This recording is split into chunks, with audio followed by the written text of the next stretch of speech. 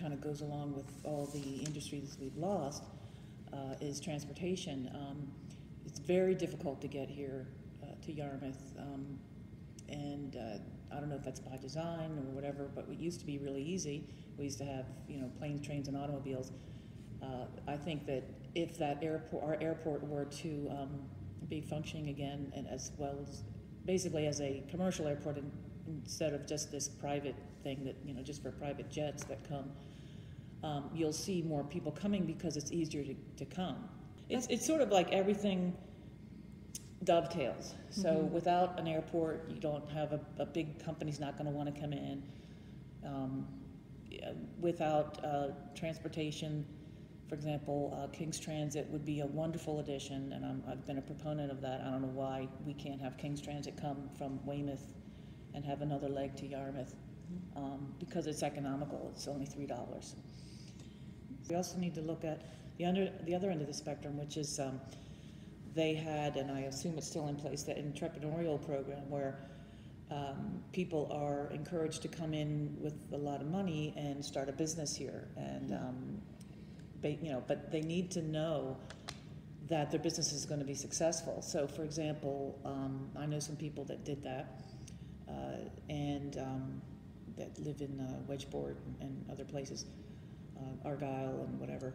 Um, but again, I think it still goes back to these entrepreneurs are not going to come in and bring their money and start a business if they know that there's not a, for example, um, an airport that's local where they can they know that people are going to be able to come and go, um, and then also a uh, consistent um, customer base that they would have that's not just seasonal.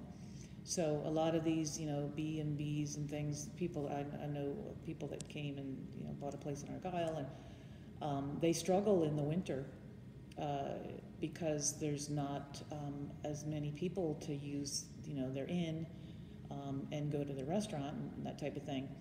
So um, I think we need to look more deeply into being a year-round town and not just a seasonal town.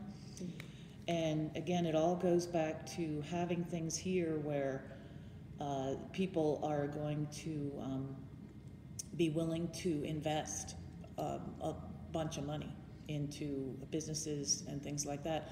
And they're not going to do that because there's a, a threshold until there's there's got to be like a critical mass of enough people here where they say, okay, well, I'm going to make money at this.